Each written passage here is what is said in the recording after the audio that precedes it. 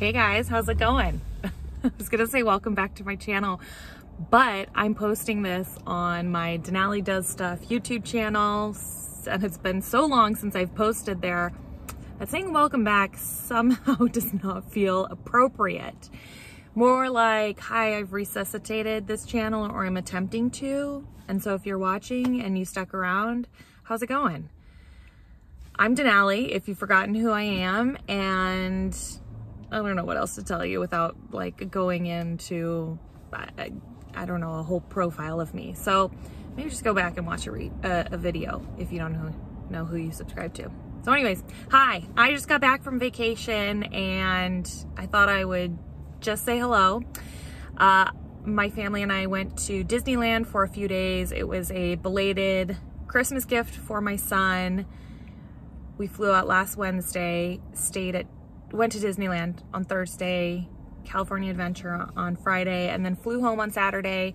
It was a nice little trip. We had really nice weather. Being from the Pacific Northwest, as you can see in the background where there is um, overcast skies, it felt really great to have 75 degree weather.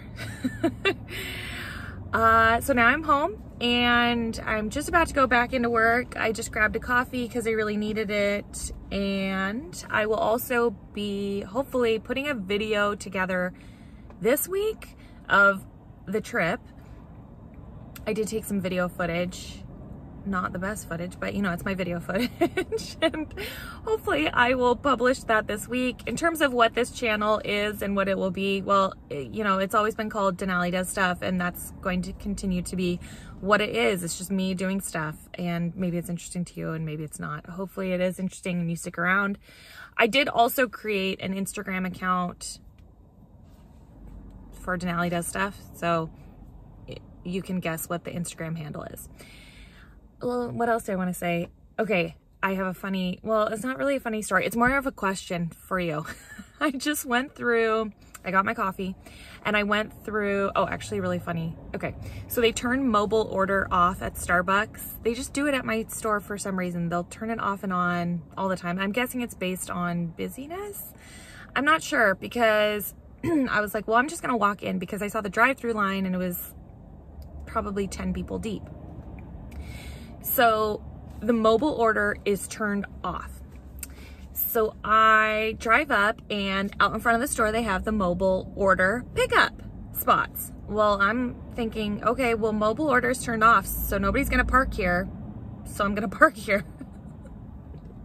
but I think I maybe messed up their flow because when I was in there, I ordered my stuff, I was waiting for my drink, and then some girl who was working there came over to the handoff counter and she said, is somebody here for a mobile order?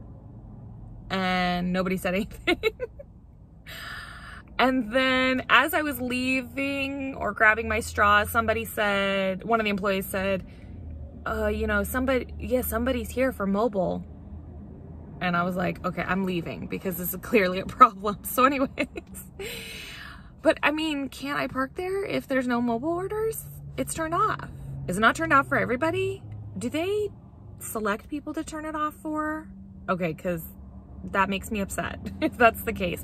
Okay, so second thing, then I drove over, over to Rite Aid, which was in the same parking lot because of course the Starbucks and a Rite Aid would be near each other. I feel like in any town in the US, you could probably find those matched up. So anyways, I drive over to the Rite Aid and I drive up and the drive up window and the registers are kind of like further apart and I feel like the employees can't always see that you're at the drive up. So whenever I drive up I always hit the call button. Because there's a button that's a, a big yellow button that says call. So whenever I do I notice that the employees will turn and they'll be like this. Ooh which I feel like they're not happy with me for hitting the call button, but isn't that what you're supposed to do? I, I, am not trying to be rude. I'm just hitting the call button because I'm just letting them know I'm there. And I'm totally happy with like waiting. I was just letting them know I'm there. So anyways, uh, the person who works there, she's been there a long time. And she kind of gave me a, a, a, little bit of a look but then when she came over to the window she was uh, I think the best word was like saccharine sweet. Uh, that would be the best descriptive term and she was just extra you know extra sweet with me a, a little over the top and by the time I left she was she was laying on thick. By the time I left she's like you have a really great day but like just like that uh, it didn't feel the most genuine, but I don't know if that's also her personality. So it's really hard to tell. So anyways, you guys tell me if anybody's watching this video, am I supposed to hit the call button or no? Like, am I being rude by hitting the call button? I'm, I'm not trying to imply like, hey, you're not paying attention to me. For me, I'm just thinking, is there a bell that notifies them? Because I don't think there is. I've been on the other side of the drive through I go in and pick up sometimes. And I don't think I've ever heard like a ding or anything like that because the windows, you know, it's just the counters are open on the inside. So I would hear that sort of thing. So yeah, I'm not trying to be rude, but I want to know the etiquette. And I almost asked her, I almost said like, do you guys want me hitting the bell or not? I should just ask next time. I feel like that's the best resolution to this. Uh, but then I, I also, uh, you know, or am I going to get that reply where it's like, no, it's fine. You can hit it. So anyways, let me know your opinion on that. Um, what else do I want to say? I don't know. I'm ready to go back to work. I think there's a lot of inventory in the in the warehouse right now. And yeah, there's just a lot of processing to do. I think two pallets are coming today. and that's not that's not it for our deliveries. We still have quite a bit of stuff still coming. Um, these are all orders I placed about a month and a half and two months ago, unfortunately, due to a lot of different reasons. Uh, one being pandemic related and one being, what is the other one? Pandemic and weather, sorry. Because we had some snow at the end of December. It just caused delays for us. I don't know.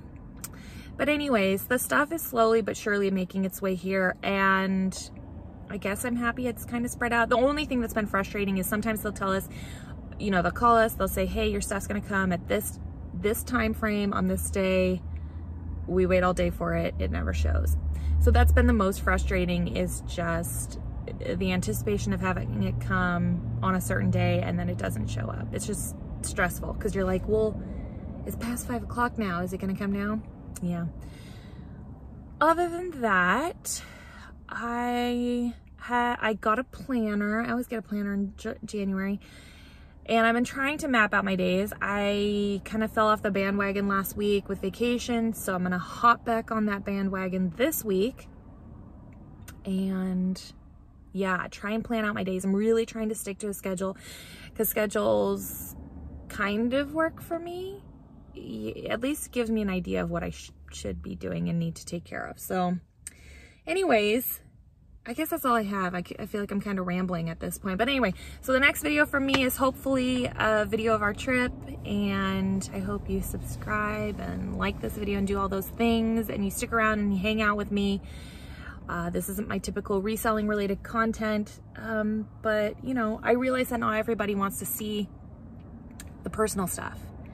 And so I want to honor and respect that as much as I can by separating it uh, because not everybody wants to know what face lotion I use because I have an oily forehead, which by the way, I just posted in my Instagram stories.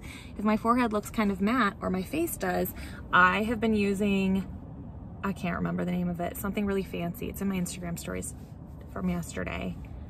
Oh man, I wish I knew what it was called. Maybe I'll put it in the description down below. Anyway, I'm, I'm really rambling at this point, so I'm gonna go. I hope you all have a wonderful day. Talk to you soon. Bye.